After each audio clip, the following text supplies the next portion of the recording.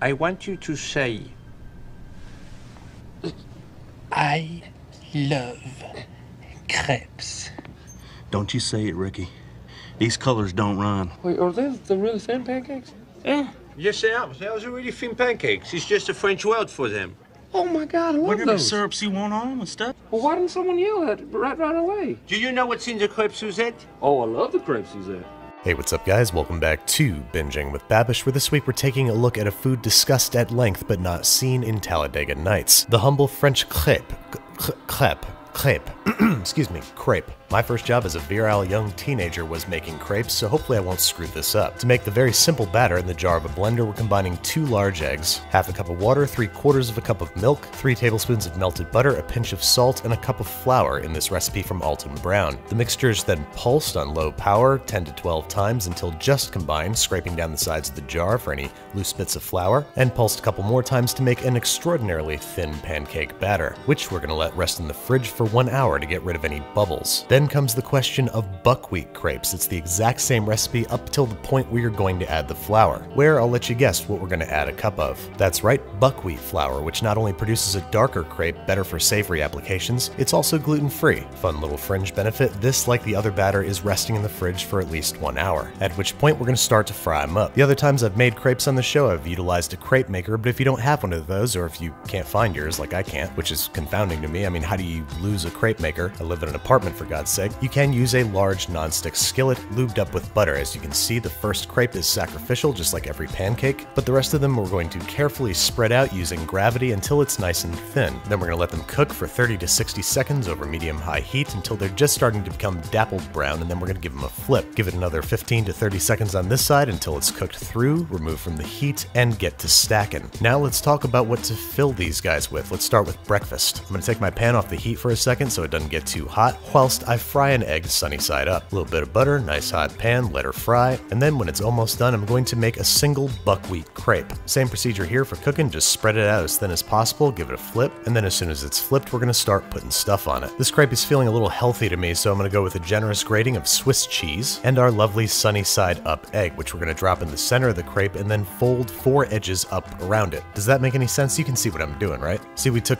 four parts of the circle and folded them in to make a square. I got a C plus in basic geometry back in high school. True story. Anyway, we're seasoning with kosher salt, freshly ground pepper, topping with a little pinch of freshly minced chives. This is going to bring some nice color and flavor. And this is going to be perfectly lovely on its own, but I think it's going to go very well with some of the homemade chili oil we made in the Kung Fu Panda episode. So a little drizzle of that stuff, and we've got a seriously charming, easy, and beautiful breakfast. A nice runny egg, some spicy chili oil, and a wholesome nutty crepe. Grab a couple pics for the gram, everybody loves a runny egg on the gram, and so that has breakfast covered. But crepes are versatile enough for any meal of the day, so how about lunch or dinner? For that, I'm reminded of a simple mushroom and gruyere crepe we used to make at the restaurant that I worked at. So here I've got a 5 or 6 ounce melange of fancy mushrooms. I'm also going to finely chop a quarter of a small Spanish onion and a single clove of garlic. Then, over on the stovetop, we are getting a tablespoon of butter nice and bubbly over medium heat, and into that we are going to dump our onion and our mushrooms and let them saute for 5 to 7 minutes, tossing occasionally and salting early on to help draw any excess moisture out of the mushrooms,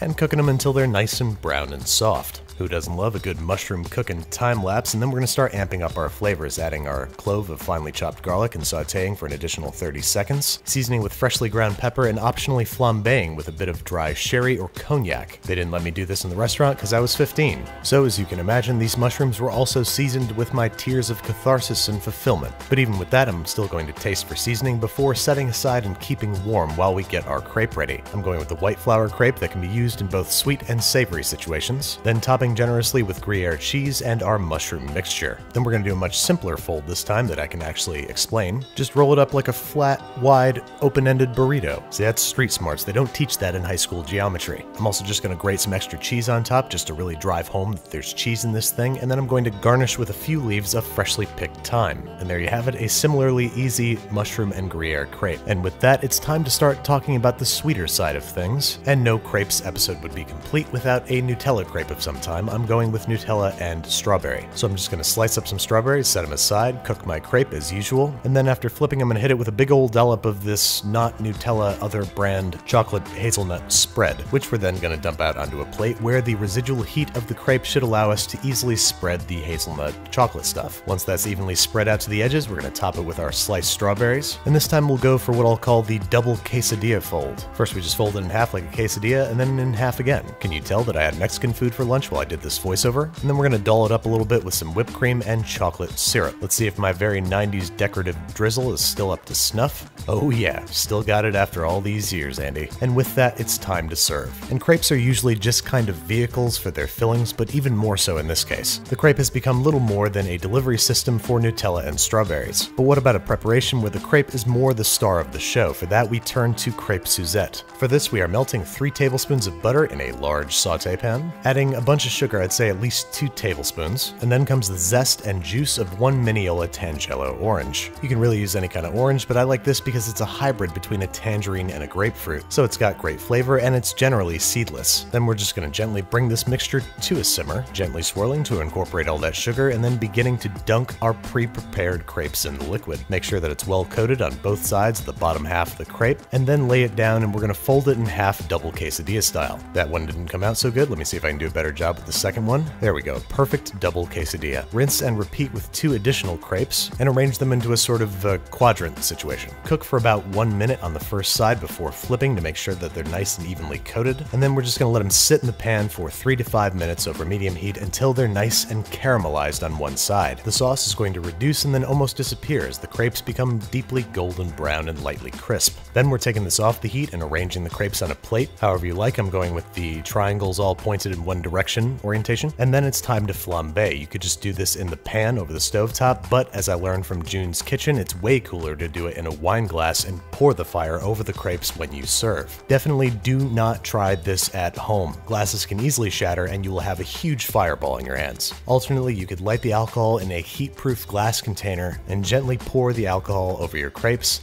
like this. A moment of silence, please.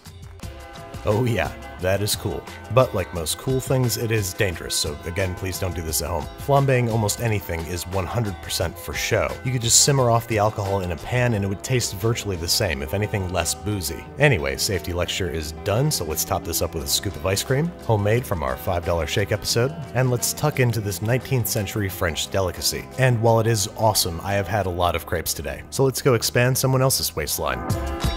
Hey folks, I am very excited to announce that. Oop, gotta stop doing that. To announce that my book is in stores today. And even more than before, I am super excited and proud to share it with you. This is the Binging with Babish companion cookbook, and it features the first 100 recipes from the show. It's got lots of fun facts, beautiful burger models, gorgeous photography, peeks behind the scenes, and an extremely touching foreword by Jon Favreau. I'm also starting my nationwide book tour today. I've got 10 stops. You can check them out at bingingwithbabish.com slash events. Every ticket includes a signed copy. I'm very excited to get out there and meet you guys. I'll see you on the road.